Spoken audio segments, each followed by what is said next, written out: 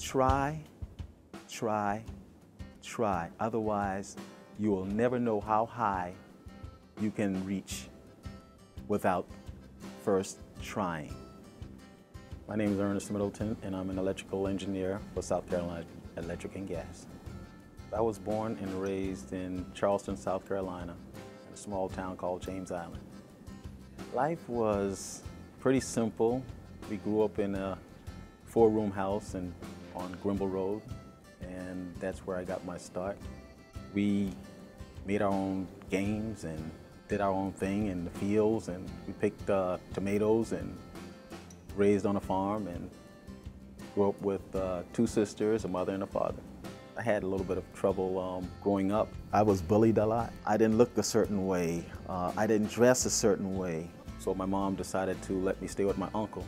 And he would take me along with him and showed me how to wire houses because he was an electrician.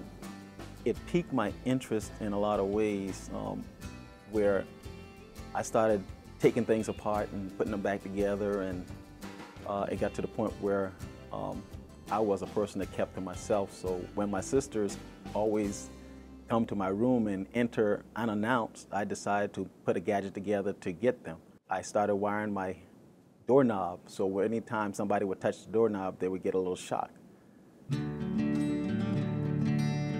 I came from a, a family that really didn't have anything, so I actually worked my way through USC, through engineering, as a full-time student and worked full-time right there at uh, the Russell House cafeteria. The courses was very demanding, so I didn't have the opportunity like some students to form a work-study group.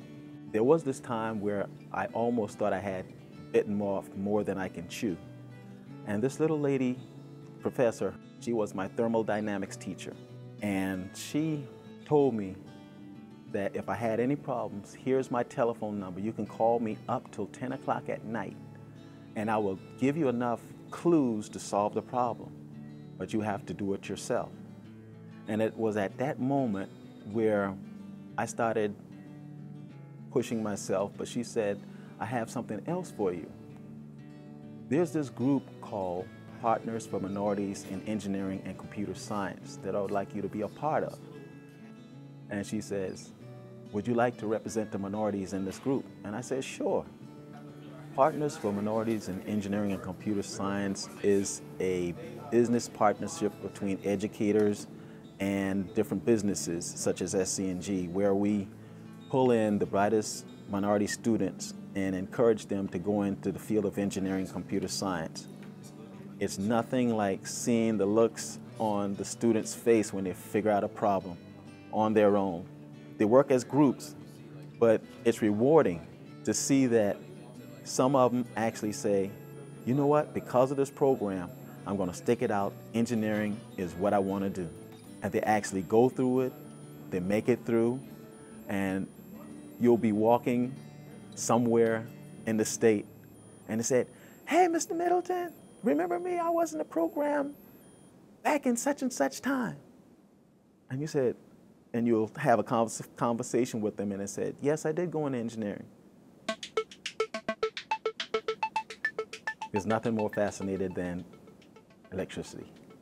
Why does the light come on? What caused the light comes on? Just think about electricity, the flow of current, energy at a touch of your fingers. Everything you do in life is stemmed from engineering, down to the down to the point of sitting in this chair. It has to be engineered. Somebody had to figure out how much weight it would take to keep the person from falling on the ground. If I can figure it out, and if it's a problem that I have to, that challenges me, I'm going to stick with it until I find an answer.